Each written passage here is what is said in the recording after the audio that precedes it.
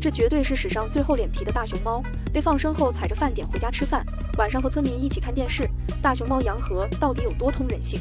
轻车熟路地走进村民的厨房，看到桌子上的馒头就往嘴里送，坐在面粉上舔食着自制的发面馒头。眼前这一幕令众人哭笑不得的场面，就是成精了的大熊猫杨和。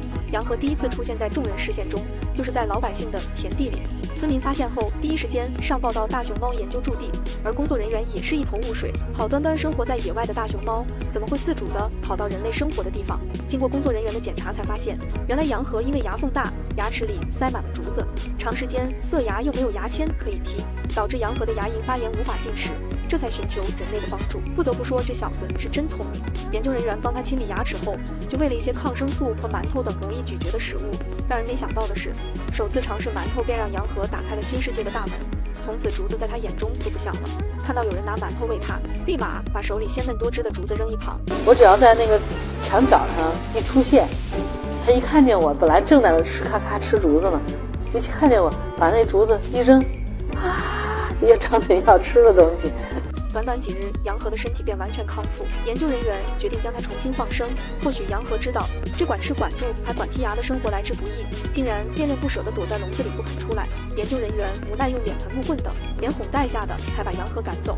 本以为杨和这件事要翻天了，没想到人家只是出门散个步，正写东西呢，别人敲我的门说：“李师，你看你的熊猫。”我一出门一看。所有人坐那儿看电视，他坐在第第一个，也在那儿看电视，他就有点感觉像一个小孩一样的，就是有点。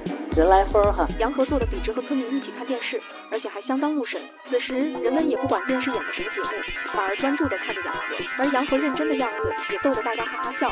第二天早上六点，或许是杨和感到了饥肠辘辘，头天村民为他准备的竹子就在身边，竟然一动没动，反而跑进了村民的厨房，拿起案板上的馒头就大快朵颐起来。或许是没吃尽兴，竟然还将面粉打翻在地，学着两脚兽蒸馒头的样子，把地上的面粉在自己的肚皮上揉搓，舔食着自制的发面馒头。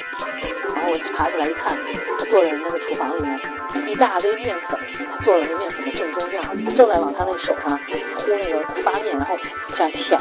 最后，工作人员实在没办法，将杨和进行麻醉，驱车数十里送往了更远的大山里，并为他戴上了无线电项圈。